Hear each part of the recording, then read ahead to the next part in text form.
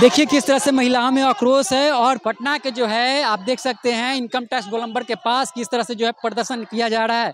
लगातार महिलाएँ जो है आक्रोश है। पहले जेडीयू अब आरजेडी के तरफ़ से जो है आरजेडी महिला जो है जितने भी जो लोग हैं मणिपुर की घटना को लेकर आक्रोश मार्च कर रहे हैं। लेके मानिएगा। हाँ, इस्तीफा लेकर के मारेंगे। हाँ। नहीं तो यही पटना की सड़कों पर धरना करेंगे हम। देश की महिला जाग चुकी है। अब नरेंद्र मोदी को देश से भगा के ही दम ले। ये अंग्रेज़ सब आके देश पर कब्जा करना चाहता है। नरेंद्र मोदी ये सब अंग्रेज़ के ही दलाल हैं। नमस्कार, अभिषेक के साथ एक्टिविस्ट देख रहे हैं। आप देखिए लोग आरजेडी के लोग प्रदर्शन करते करते अभी भाजपा कार्यालय के बाहर आ चुके हैं। और देखिए किस तरह से जो है भाजपा कार्यालय के बाहर यहाँ पे प्रदर्शन कर रहे हैं। लगातार नरेंद्र मोदी हाय हाय के खिलाफ नारे लगा रहे हैं। देख सकते हैं आप किस तरह से अभी बीजेपी के कार्यालय के बाहर यहाँ पे राजद वाले लगातार मोदी हाय हाय के नारे लगा रहे हैं। देख सकते हैं किस तरह से यहाँ पे, और लोगों में आक्रोश, आप देख सकते हैं किस तरह से देखिए, थाली बजा करके जो है यहाँ पे प्रदर्शन किया जा रहा है। देख सकते हैं नसीमा जमाल जी बातचीत करेंगे। क्यों इतना गुस्सा है मैम? गुस्सा क्यों है?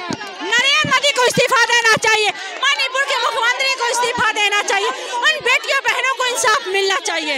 नरेंद्र नरेंद्र मोदी लेके मानिएगा हाँ, इस्तीफा लेकर के मारेंगे हाँ। नहीं तो यही पटना की सड़कों पर धरना करेंगे अच्छा, हम आज आज मणिपुर में हो रहा है कल बिहार में भी हो सकता है क्या? हाँ बिहार में आज मणिपुर के बेटियों के साथ बहनों के साथ हुआ है। तो आज मुजफ्फरपुर में बिहार में भी हर जगह भी हो सकता है रुपया को इस्तीफा वो रुपया को इस्तीफा देना। बेटी बचाओ बेटी पढ़ाओ का नारा देते हैं। हाँ बेटी बढ़ाओ और बेटी बचाओ का नारा देते हैं।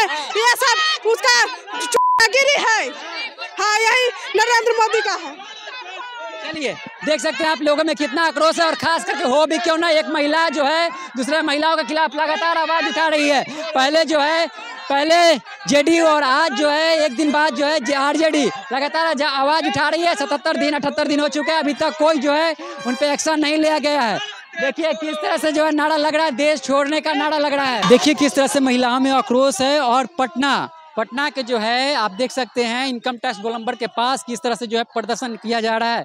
लगातार महिलाएँ जो है, आक्रोश है। पहले जेडीयू, अब आरजेडी की तरफ़ से जो है, आरजेडी महिला जो है, जितने भी जो लोग हैं मणिपुर की घटना को लेकर आक्रोश मार्च कर रहे हैं। देखिए किस तरह से जो है सभी में आक्रोश है और मणिपुर की घटना को लेकर जो है लगातार मोदी के खिलाफ नारेबाजी कर रहे हैं। प्रदर्शन क्यों कर रहे हैं आप लोग? आकर्षक मंच आपको पता नहीं मानिकपुर में जो घटना घटी है वो वो क्या कम है? जो आप लोग सवाल जवाब कर रहे हैं। बेटी बचाओ बेटी पढ़ाओ का नारा नारा देती है। वो तो पहले ही कह वो तो नरेंद्र मोदी जी ने हमें पहले ही सक्रिय कर दिया। मोदी पहले कह दिए थे बेटी को बचा के रखिए। बेटी के साथ बहुत दुर्व्यवहार होने वाला है मोदी पहले कह दिया था। आक्रोश का है इतना? आक्रोश ये है ये अंग्रेज़ सब आके देश पर कब्जा करना चाहता है। नरेंद्र मोदी ये सब अंग्रेज़ के ही दलाल है। अच्छा। और ये देश की महिला को हमारे देश की महिला को जिस तरह से अपमान किया गया है हम कहते हैं बीजेपी वाले सुधर जाओ नहीं तो देश से भगाएँगे। बेटी बचाओ बेटी पढ़ाओ का नारा देते ये नारा ये अंग्रेज़ लोग इसी तरह नारा दे के हमारे देश को लूटा था।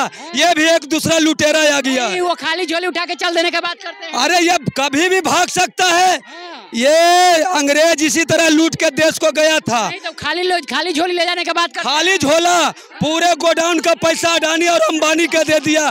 देश की जनता को पैसा। देश की जनता को पैसा अडानी और अंबानी को दे रहा है। अब नरेंद्र मोदी नहीं रहेंगे।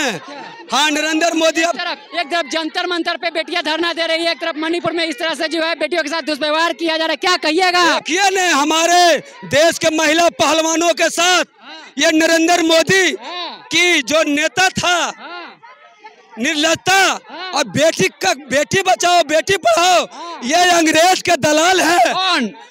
ये जितने भी बीजेपी के लोग हैं हम इसको देश से भगाएँगे। लगता है कि धरना के बाद ये प्रदर्शन के बाद कुछ प्रभाव पड़ेगा इस देश से? से लालू जी के जब जब आह्वान हुआ है तो देश की गद्दी डोलती है दिल्ली डोल रही है।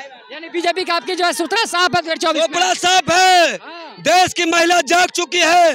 अब नरेंद्र मोदी को देश से भगा के ही दम लेगी। महिलाओं के लिए अलग अलग अलग योजना लाती है बोलते हैं बीजेपी की महिलाओं के लिए अलग अलग योजना लाते हैं। अरे ये महिला को इसी तरह जब हमारे देश में अंग्रेज़ आए थे इसी तरह जैसे मोदी जी योजना लाते थे ने इसी तरह योजना ला ला कर लूट रहा था। अब इसको देश से भगाएँगे। चलिए। इनका साफ़ तौर पर कहना है कि अब उनको जो है देश से भगाएँगे और देख सकते हैं कितना लोगों में आक्रोश है, किस तरह से जो है लगातार बीजेपी को जो है सुपड़ा साफ़ करने के लिए बोल रहे हैं कि अब 2024 में किस तरह से बीजेपी का जो है सुपड़ा साफ़ हो जाएगा। अब देखना यह होगा कि क्या इनके प्रदर्शन के बाद महिलाओं के साथ जो मणिपुर में जो महिलाओं के साथ जो दुष्व्यवहार हुआ है, क्या उनको उनको इंसाफ मिलेगा? जिस तरह से मणिपुर में जो घटनाएँ हो रही है, क्या हुआ थमने का नाम लेगी? अब देखना होगा, बहरहाल आप क्या सोचते हैं, अपनी प्रतिक्रिया कमेंट बॉक्स में ज़रूर रखिएगा। इसी तरह से बने रहिए द एक्टिविस्ट के साथ, मैं अभिषेक बहुत बहुत धन्यवाद।